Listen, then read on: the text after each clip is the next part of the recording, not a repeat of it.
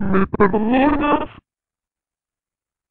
Si te he fallado, te pido perdón de la única forma que se abriendo las puertas de mi corazón para cuando decidas volver.